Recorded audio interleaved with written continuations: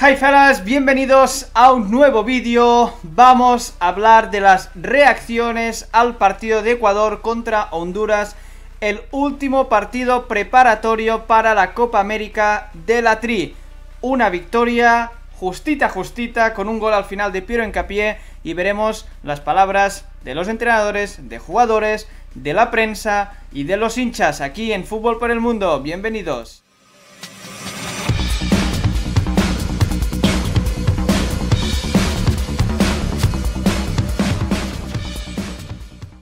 Pero primero de todo, suscríbete al canal, activa notificaciones y déjate un muy buen like, es todo gratis. Sígueme en todas las redes sociales que van pasando por aquí debajo. Si queréis camisetas de fútbol como esta que yo me compré de Ecuador, la del Chelsea, cualquiera en futbollufo.com con el código FXM tienes un 8% de descuento, así que aprovechalo y una promoción que te dan una camiseta gratis. Y también Hazte miembro del canal para apoyarlo. Venga, vamos a empezar que estos vídeos se alargan siempre, así que vamos a ir a rapidito. No he hecho resumen del partido porque lo he podido ver a medias, el link se cortaba mucho, así que no lo he visto muy bien. Así que voy directamente con el reacciones del partido, ¿vale? Aquí tenemos, a, primero de todo quería comentar la camiseta con la que se ha jugado hoy Ecuador, la tercera camiseta, una camiseta con un azul oscuro y con así, Apu, es el que la enseña aquí la verdad, ¿os gusta o no? Está bien, tampoco es una locura para mí de camiseta, pero de las tres quizás la mejor, ¿no? Se podría decir, de las tres que va a jugar esta Copa América, para mí quizás la mejor o eso, es que la segunda, la blanca, a mí no me gusta nada, sé que mucha gente le gusta, pero a mí no me gusta, y la primera, bueno, es mejorable, pero bueno, ah, ninguna es un camisetón, para que nos entendamos, ¿vale? Así que después de esta opinión rápida de la camiseta, vamos con con lo que ha reaccionado la propia la tri, ¿no? La, la, selección en su Twitter. Es tiempo de celebrar, bueno, eso cuando ganan es lo que ponen. Aquí un poquito de, de estadística, 71% de posesión, 14 disparos, nueva portería, 6 tiros de esquina, bla bla bla, 29% para Honduras, 9 disparos y 4 portería, no han generado mucho peligro, pero te han marcado en un penalti provocado por hincapié que luego sería el que daba la victoria. El jugador más seguro, William Pacho. Ah, el jugador que más kilómetros corrió fue Piero Hincapié, que jugó bastante por la izquierda con 8,2 kilómetros, que tampoco son muchísimos. Y el momento magnífico del partido es gracias, bueno, presentado por McDonald's, que es el gol de Jeremy Sarmiento, que hoy era su primer su aniversario y además su primer gol con Ecuador. El jugador con más conectividad, Kendry Páez, que ha dado 53 pases de 57 entiendo, en intentos, 4 pases claves, una asistencia, 3 de 4 en regates, 3 de 4 en balones largo, 93% de eficacia. Muy bien Kendry Páez, que ha hecho un buen partido y ha dado la asistencia de la victoria con un muy buen centro a Kendry Páez cuando ya se escapaban, digamos, los tres puntos, no, la victoria, ¿no? Obviamente. Así que, bueno, vamos a ver cómo ha jugado Ecuador. La alineación ya veis que ha dominado todo el partido con la posesión. Alineación con Alexander Domínguez en portería. Podría ser la alineación titular contra Venezuela, creo yo. William Pacho, Félix Torres de centrales. Ángelo Preciado por la derecha, un 7 con 1. Piero Encapié 7,5 por la izquierda. 7 con 1 y 7 con 1 toda la defensa. El resto. Alexander Domínguez 6,9, no ha parado el penalti, pero lo ha tirado por el medio. Moisés Caicedo 7,8, ha distribuido muy bien.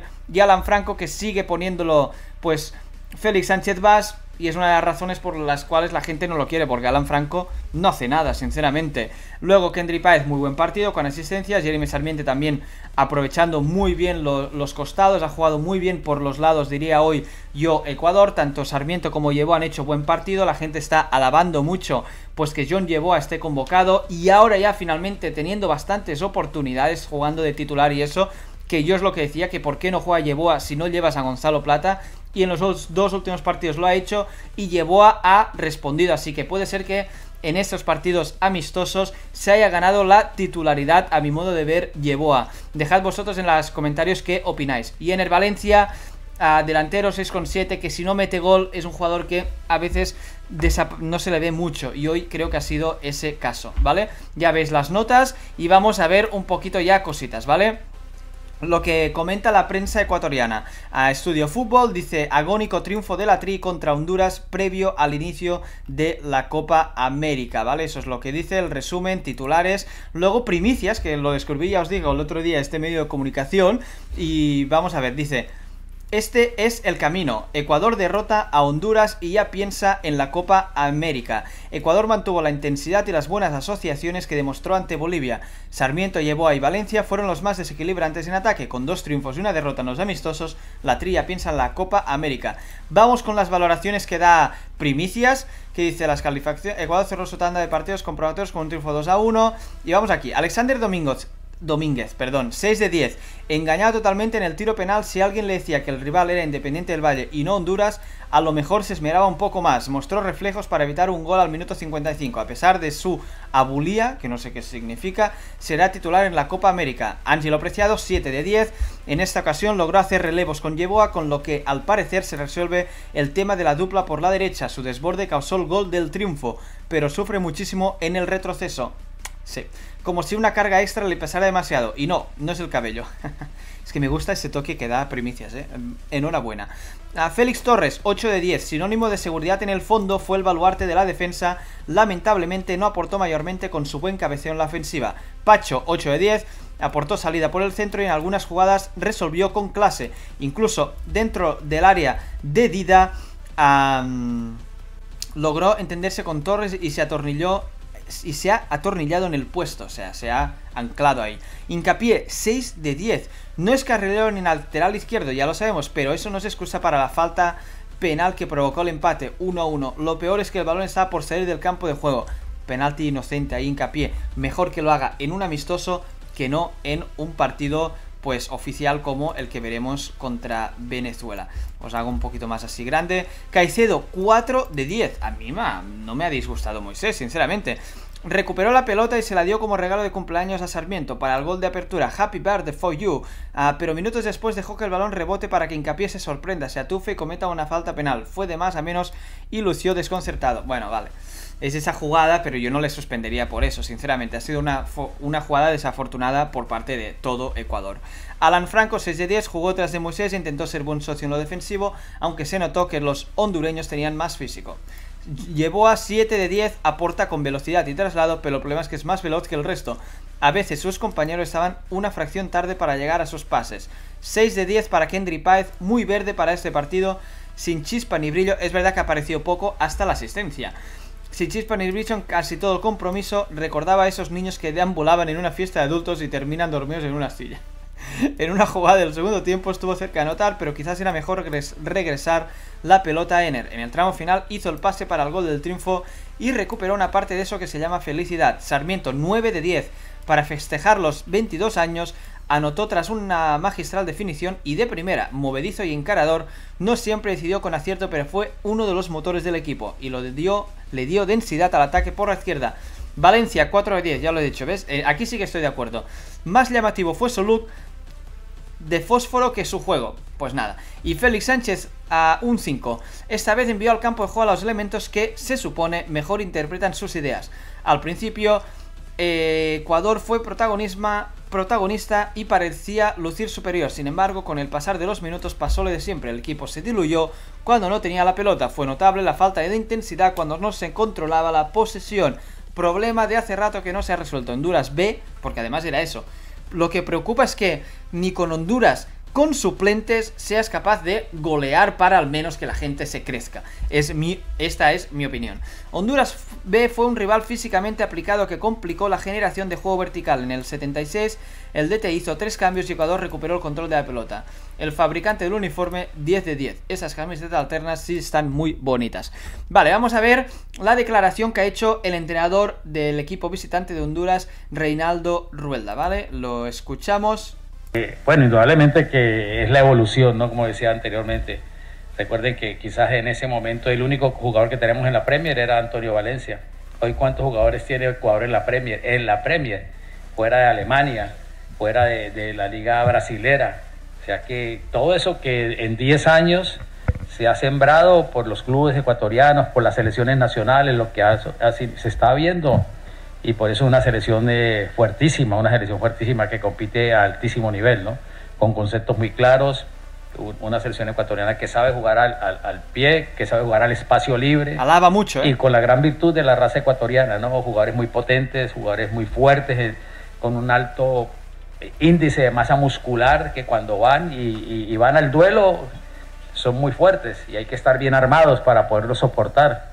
Creo que ahora la, creo que Ecuador está atrasado por un lindo momento, ¿no? Y ojalá que vaya bien en la Copa América porque merecen. Una selección muy dura es lo que dice Renaldo Rueda, Rueda, ex seleccionador de la Tri, que dice eso, ¿no? La evolución, que cuando él era seleccionador había Antonio Valencia en la Premier y ahora cuántos jugadores hay no solo en la Premier sino en toda Europa.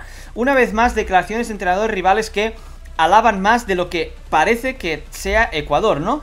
Vemos ahora un poquito también lo que dice Félix Sánchez Vaz. A ver si se ve, sí.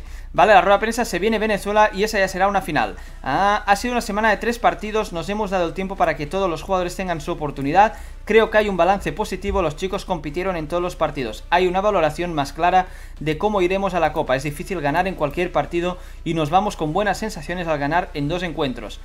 También hemos enfrentado a un rival que trabajó bien, tenía ideas claras, defensivamente fueron muy difíciles y a la contra eran peligrosos. A partir de ahí comenzamos bien el partido, quizás en unas acciones hemos tenido algunas pérdidas, pero el equipo se ha sobrepuesto. En el segundo tiempo buscamos espacios y por banda hemos conseguido llegar, de ahí salió el gol y generamos algunas más. Esta era la sensación que se necesitaba. Sobre el vino tinto dijo, sabiendo que se viene un torneo muy exigente y difícil, sabemos que nuestra trayectoria ha sido difícil, pero en el grupo veo confianza y ganas de empezar la competición. Intentaremos hacerlo bien para llegar a lo más alto. Tenemos un partido... Eh, bueno, no dice nada interesante. Hemos probado dos sistemas, lo hemos analizado con algunos rivales, pero no sabría si responder eso sobre la alineación. Y se ríe. Uh, uh, uh. La, idea es salir a ganar, hay que atacar, bla, bla, bla. Obviamente no saldremos a perder, ¿no? El rival haría lo mismo, pero nuestra idea, más allá del sistema y que jugadores estén, es llegar la mayor, mayor cantidad de veces posibles al último tercio. Queremos dar la imagen de un equipo que sale a ganar pero no la da, hombre, que no la da. A ver, Sarmiento, que ha marcado hoy, muy contento, este día lo esperé hace mucho tiempo, desde que tengo 19 años. Ah, hoy se dio, lo más importante es que ganamos. Bueno, no ha dicho tampoco nada importante. Prensa de Honduras. Honduras le da guerra a Ecuador en amistoso previo a la Copa América. Honduras se crece y bueno, es la realidad. Le ha dado guerra a Ecuador, que no la ha ganado hasta el último minuto. Prensa peruana. Con gol en el último minuto, Ecuador derrotó 2 a 1 a Honduras previo al inicio de la Copa América 2024. Nos vamos un poquito a Twitter, a mi cuenta, seguidme, Fútbol por el Mundo. Aficionados, he preguntado qué, cuál es vuestra opinión del partido. Y Santiago dice, muy buenos jugadores para un entrenador nefasto. Y Jaime Ugalde dice, Ecuador sigue perdiendo goles. Sarmiento y Yeboa estuvieron bien, abriendo las bandas y también interiorizando. Moisés y Pacho destacados en sus papeles. Hay mejoras, pero falta mucho. Se debe considerar el nivel bajo de los dos últimos rivales. Mucha razón con Ugalde. Y es lo que digo yo, eso es lo que me preocupa más, el rival de los rivales y la versión que se ha dado. Vamos a ver ahora aquí un poquito comentarios de los hinchas que han dejado en la publicación de Radio D Blue FM. ¿Qué puntaje le pones? Aquí no podemos comparar Honduras y Bolivia con Argentina. Ahora solo hay que esperar el primer partido frente a Venezuela. 7 de 10. Todavía necesitan terminar con gol, determinación y coraje, dice Javier Castro. 3 de 10 Sofelia. La suma de los tres amistosos impacta más el juego deplorable y el partido contra Argentina. No hay puntuación tan baja para darle a esta selección, dice JJ. Luis Monge, 4. Es un espejismo. Un Ferrari con pilote de carricoche. Críticas al entrenador. Otra vez, 2 sobre 10. No existe juego asociativo, dice Saúl. El DT nunca pudo imponer un modelo de juego. Uh, un Roberto 7, falta final arriba, nada más, confío en Ener. The Night 3-10, una lágrima a la supuesta mejor generación. Bueno, bastantes críticas. Nos vamos a... No, esto ya lo hemos leído con Argentina. Ecuador cerró su preparación para la Copa América con triunfo ante Honduras. Sin nada que sobrarle, la Tri con mayoría de titulares venció 2-1 con tantos de Sarmiento. Ahora se viene la verdad. Ah, eso, también le faltó poco. Ecuador gana Honduras, dice Bolavip en el último minuto y queda listo para Copa América. También destacando que justito, justito. As, prensa española. Ecuador respira antes de su debut. El combinado de Félix Sánchez venció a Honduras en su último partido y ya mira su primer partido contra Venezuela. Nos vamos un poquito de de risas, una vez más, memes sobre Félix Sánchez. Tera Deportes dice eso también, que quería decirlo, luego vamos con memes. Félix Sánchez va sigue siendo el DT de la Tri con mejor rendimiento en resultados. Ahí lo tenéis, también eso, ¿eh? Muchas críticas, pero el mejor rendimiento también tiene seguramente la mejor selección de la historia de Ecuador.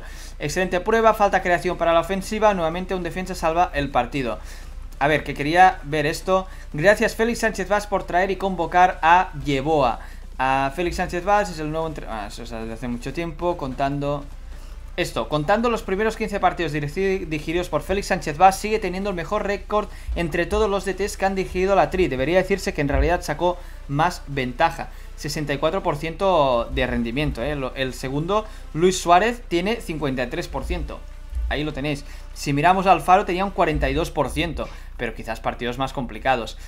Otro que agradece la convocatoria de Yeboa, otro también que le destacan eso, y este Lebron que dice, ayúdame a reportar la cuenta de este tipo, me está haciendo la vida imposible con ese fútbol de mierda que tiene. Su nombre es Félix Sánchez Vaz y se hace pasar por técnico de fútbol, ya está identificado.